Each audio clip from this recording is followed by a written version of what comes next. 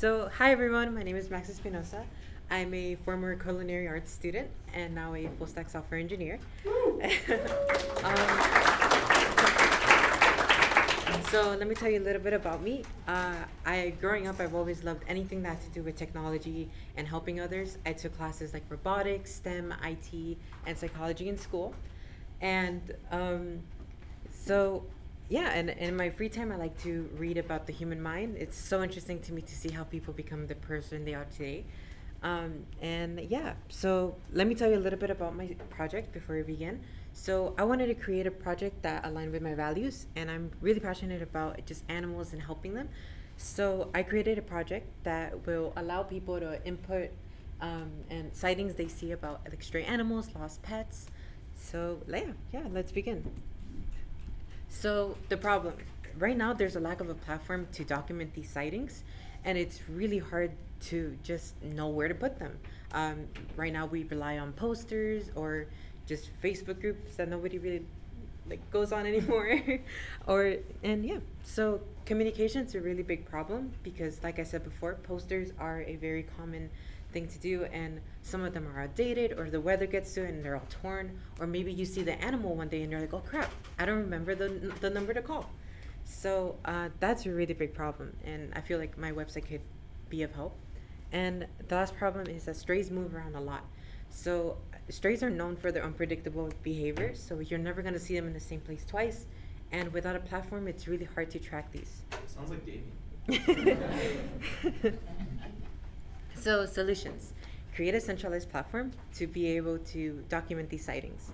Um, so these sightings, um, it would be really useful to have the images, a name, a location, and just to know everything in one place. So geolocation, uh, being able to see the, the lasting location on Google Maps is really useful because all you have to do is press send me to that location and then you'll get directions from anywhere you want. So let's get started. So this is my website. Um, before I press start now, I want to show you a little bit about my about.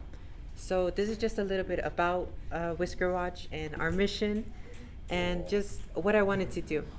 And as you can see, all of these images are also AI generated. I'm a big fan of AI. Thank you, Gio. Or is he there? Yeah. Um, so let's click discover. So as this is loading, you're going to be prompted with a bunch of listings. And uh, you can see the, the name, the description, tag, last seen, temperament. So that's everyone here. So as you can press, you see a button here, add straight. So you can play, press the, uh, fill out the form. So right now we have this cat named Fred, and we we just lost him, and I, I really miss him. So we're gonna say that we last saw him right here at Boca Code. So you can also press use my current location, but someone who sh- I'm not gonna name anyone disabled the location permits in this mm-hmm. computer. so he's really shy. I can verify it works though. It works yeah, so he's a really shy cat, and I want people to know that just so um, they don't scare him off. So uh, I'm just gonna press add animal here and then he's gonna pop up right here. And then, whoops, here's Fred. so we can press view and we're gonna be uh, shown with the Google Maps location right here. So we can zoom in, just look around the area, we'll see, okay, guess he's a Boca Code, guess he wants to be a coder. So uh, we press directions and we can just put location from anywhere we want to go to.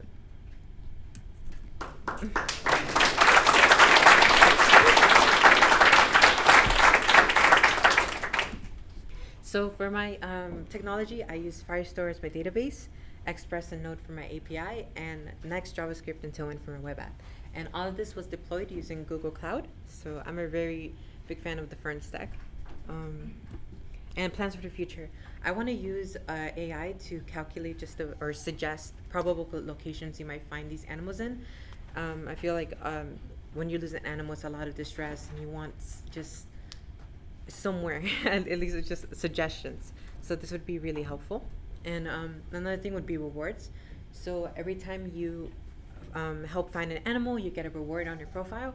So this can act as an incentive to help others and just continue giving to the community community And lastly, heat maps. Heat maps. So utilize the data that we have tracked and just put them in a visual way, just so people can see, oh, this is an area where usually animals are. Let me go look for my animal. So yeah, thank you very much. Connect with me. Uh,